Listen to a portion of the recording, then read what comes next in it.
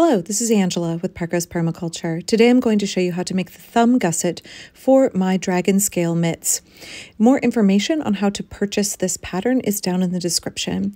This is a simple thumb gusset that can be adapted to any top-down knitting pattern for fingerless mitts.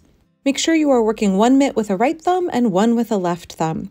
For this pattern, we start our thumb five rows of scales in.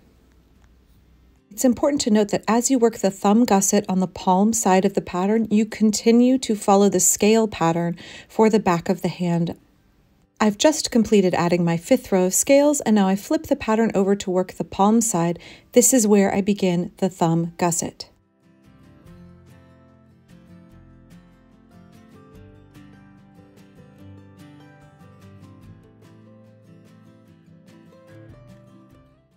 First, I'm going to work a right thumb. I knit to the last four stitches because I am using a larger version of this pattern. Then I bind off two stitches and then knit to the end.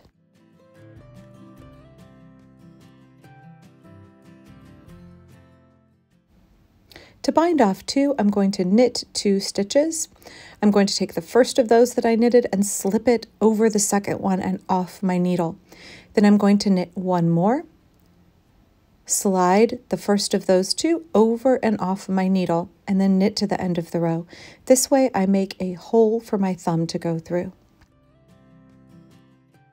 On to the second mitt, which is a mirror image of the first as we work a left thumb gusset. I'm going to knit two because again, I'm working the larger pattern, bind off two in the same manner, and then knit to the end of the row.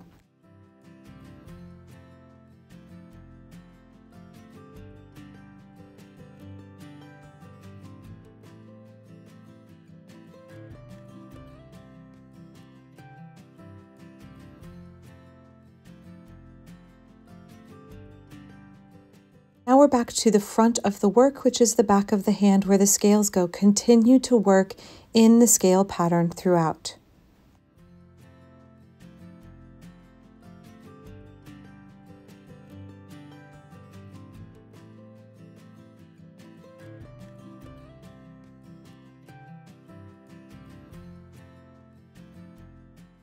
Now that we're back to the palm side, I am going to work the second round of the gusset pattern. I knit to the last two stitches, make six and knit to the end. When I say make six, I mean put on six stitches using the backward loop method. Okay, I've got one more stitch here and then I'm ready to make six stitches. The backward loop method is really simple. I just make a loop, flip it around, slide it over the needle, and pull it tight. Now, not too tight, you want these to be able to slide up and down the needle with the same kind of tension as your regular stitches. Do six of them, and then you're going to knit to the end of the row.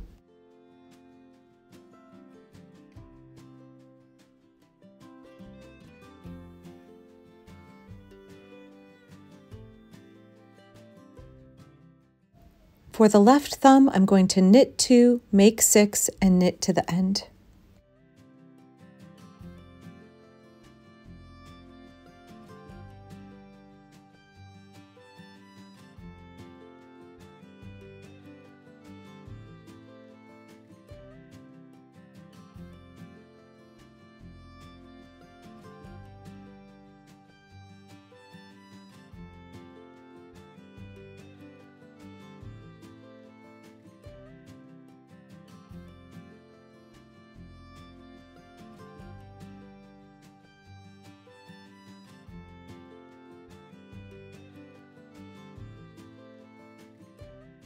Going to continue in the scale pattern on the front and on the back side for four rows, I'm just going to knit straight across. This elongates the gusset and makes room for my thumb to fit.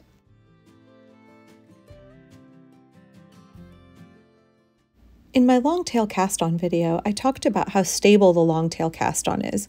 Well, the make one with a backwards loop method is not so stable. So the first row that you knit these stitches, it will be a little loose and fiddly. You want to pull snugly as you knit across for those first of four rows.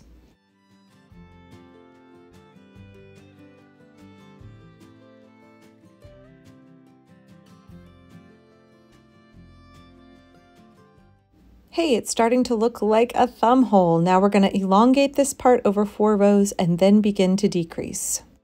I have completed my four rounds of straight stitches and now I am beginning the gusset decrease. For the right thumb, I am knitting to the last eight stitches, then I'm going to slip, slip, knit,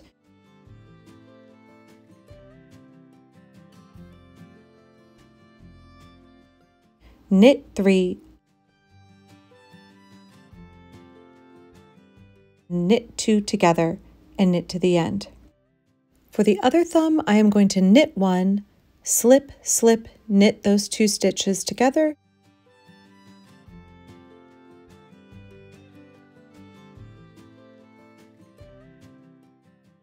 knit three, knit two together, and then knit to the end.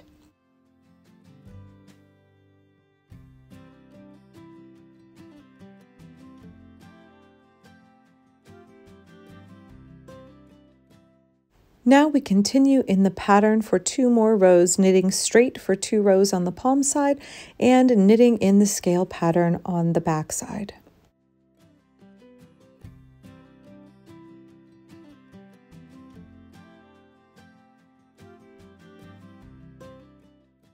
The thumbs are really taking shape now.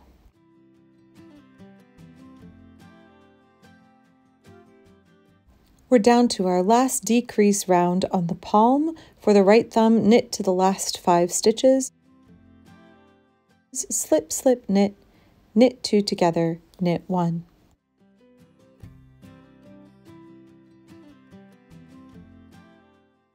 For the left thumb, knit one,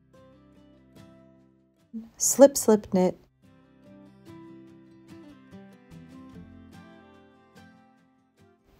knit two together, and then knit to the end. And now we have our thumb gussets completed. Just knit to the end of the row and then continue in the knitting pattern until you have completed adding 12 rows of scales. Then it will be time to do the ribbing for the cuff. Here you can see the completed thumb gusset, simple, elegant, not fussy, and comfortable. Thank you for watching. I hope this video was helpful to you all, and thank you to those of you who have purchased my Dragon Mitts pattern. If you need additional help, check out the other videos in this playlist. Thanks.